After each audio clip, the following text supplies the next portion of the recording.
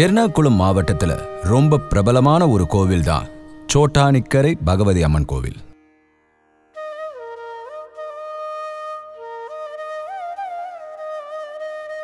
குடஜாதிரியிலிருந்து அம்மனோட ஜோதியை எடுத்துட்டு வந்ததா சொல்லப்படுது. ஜோதி ஆணையிச்ச கரை அப்படின்னு சொல்லப்படுற இடம்தான் சோட்டானி கரையா மாறிடுச்சு. கேரளால ஒரு சரஸ்வதி கோவில் கூட இல்லாத ஆதங்கத்துல பெரிய குருவா இருந்த ஆதி சங்கராச்சாரியார் குடஜாத்ரால தவம் இருந்திருக்காரு. கடுமையான தவத்தின் மூலமா சரஸ்வதி தேவி பிரத்யட்சமான பிறகு அவரோட ஆசைய அவங்க கிட்ட சொன்னாரு. தன்னோட வாசஸ்தலமா இருந்த மூகாம்பிகை கோவிலை விட்டுட்டு வர அம்மன் தயாரா இருந்தாங்க. பக்தரான சங்கராச்சாரியரோட விருப்பத்துக்கு இணங்க நான் உன் பின்னாலேயே வந்துகிட்டு இருக்கேன். ஒரு முறை கூட நீ திரும்பி பார்க்க கூடாதுன்ற சப்தம் அவருக்கு கேட்டுச்சு. அம்மனோட காலடி சத்தம் ஒரு இடத்துல கேட்காததுனால சங்கராச்சாரியார் திரும்பி பார்த்தாரு. அங்க அம்மன் சிலையானதை பார்த்தாரு. கடமையிலிருந்து தவறின சங்கராச்சாரியார் மறுபடியும் தவத்தை தொடங்கினாரு. அம்மன் மறுபடியும் தோன்றி உன்னால இப்படி வர முடியாது. நீ ஆசைப்படுற இடத்திலேயே நான் வந்துடுறேன்னு சொன்னாங்க. சோகத்தோட சங்கராச்சாரியார் சோட்டானிக்கரை கோவில்ல காலையில நடை திறக்கும் போது நீங்க அங்க இருக்கணும்னு நிர்மால்யமும் உஷ பூஜையும் முடிஞ்ச பிறகுதான் நீங்க கொல்லூருக்கு போகணும்னு அம்மன் கிட்ட வேண்டிக்கிட்டாரு.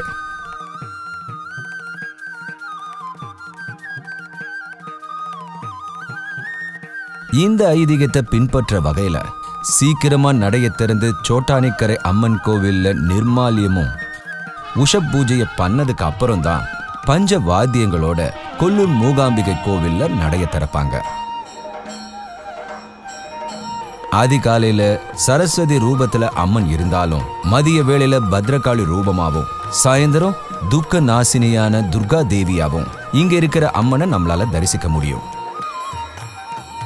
இதன் காரணமா தான் ஸ்ரீ மகாலட்சுமியாவும் பார்வதியாவும் கொல்லூர் மூகாம்பிகையாவும் அழைக்கப்படுது.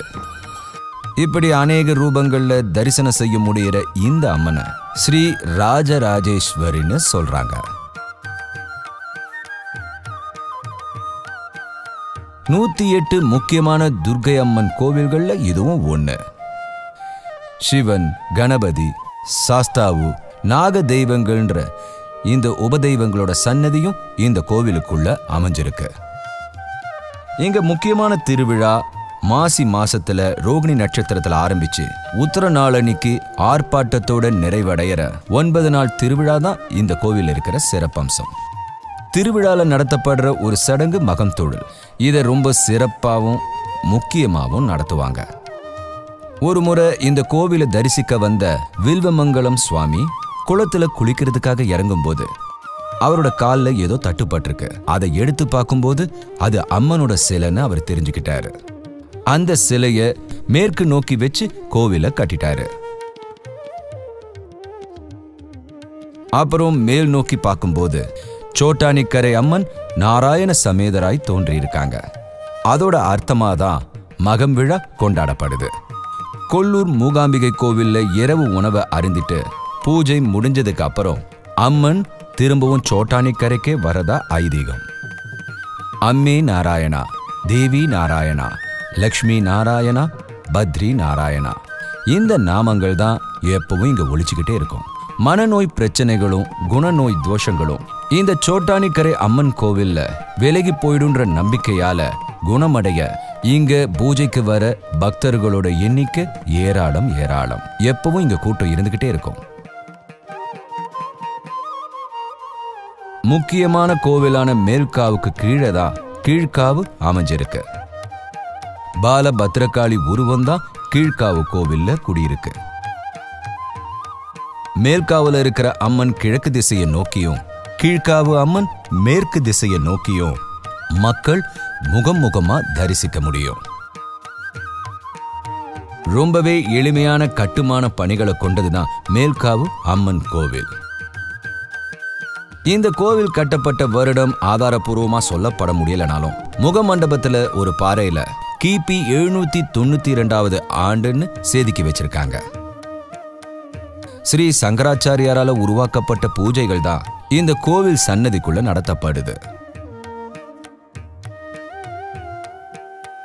விரதம் இருக்கிற சாந்தின்ற ஒரு நபர் மட்டும்தான் இங்க அம்மனை தொட முடியும்.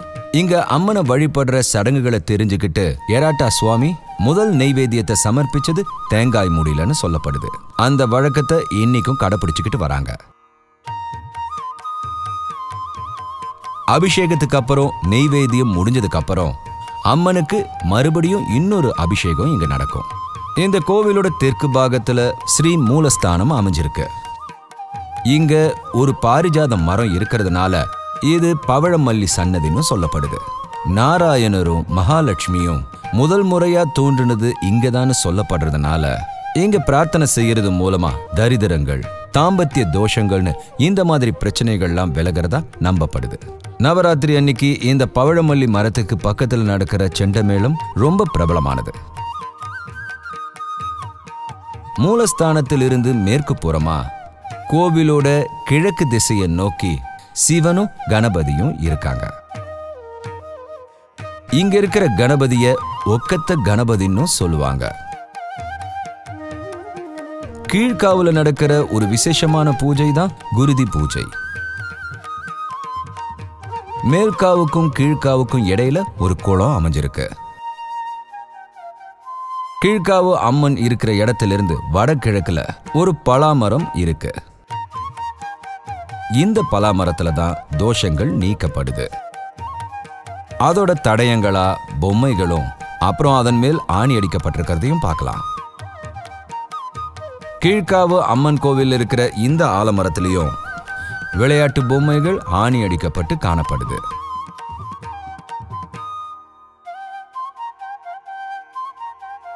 தானத்துல சிறந்த தானம் அன்னதானம்னு சொல்லுவாங்க. அது இந்த இடத்துல தினமும் நடக்கும்.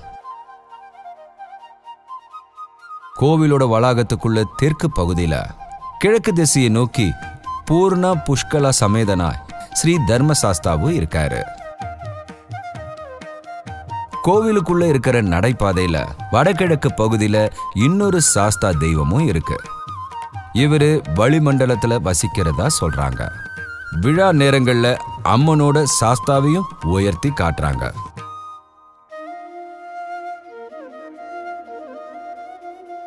சுத்தமான மனசும் உடம்புமா?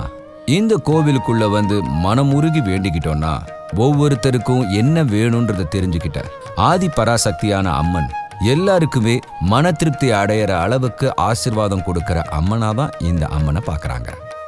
அதனால தான் ஐஸ்வர்யத்தோட நிறை கொடுன்னு இந்த கோவிலை பக்தர்கள் சொல்றாங்க.